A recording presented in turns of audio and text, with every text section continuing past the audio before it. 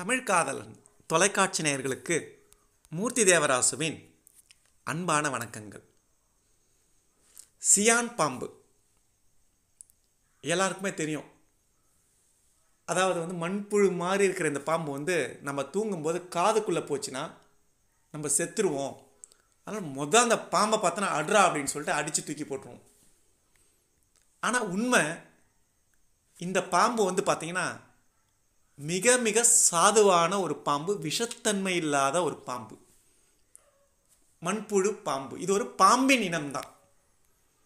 இதோட பேர் என்னன்னு கேட்டிங்கன்னா பிராமினி பிளைண்ட் ஸ்னேக் அப்படின்னு சொல்லுவாங்க. அதாவது ஆங்கிலத்தில் ஃப்ளவர் பாட் ஸ்னேக் அப்படின்னு சொல்லுவாங்க. இது வந்து சராசரியாக ஜீரோவிலிருந்து பனிரெண்டு சென்டிமீட்டர் நீளம் வளரக்கூடியது.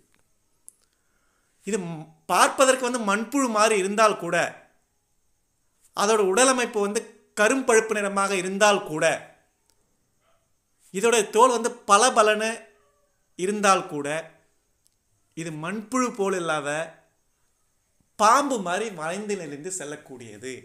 ஏனெனில் இது ஒரு சிறிய பாம்பின் இனம். இது இந்தியா முழுக்க பரவலாக காணப்படுகிறது.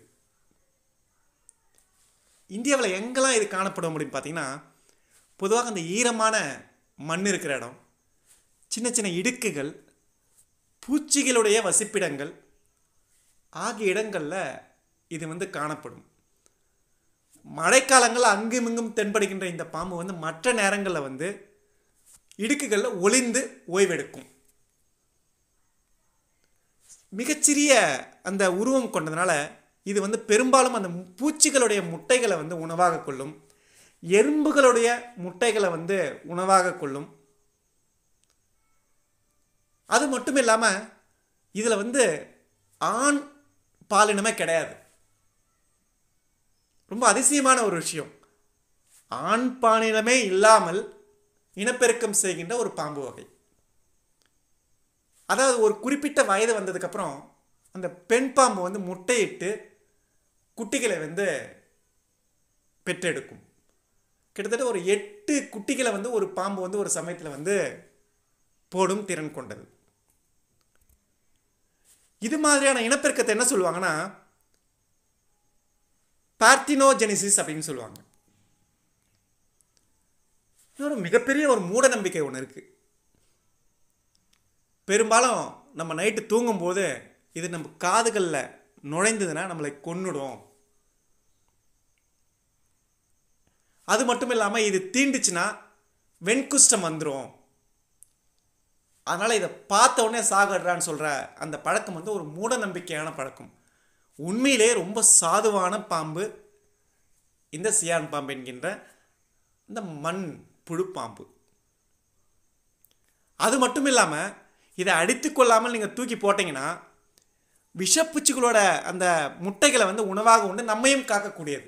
நமக்கு நண்பர் மாதிரி தான் அது. பல நேரங்களில் வந்து இந்த எறும்புகளை நசுக்கிறது பூரான் செய்யான் போன்ற அந்த சின்ன சின்ன பூச்சிகளை வந்து தீயிட்டு கொளுத்துறது பாம்புகளை அடிப்பது இதெல்லாம் வந்து ஒரு தவறான போக்கு. அதுவும் நம்மை போல ஒரு உயிரினம்.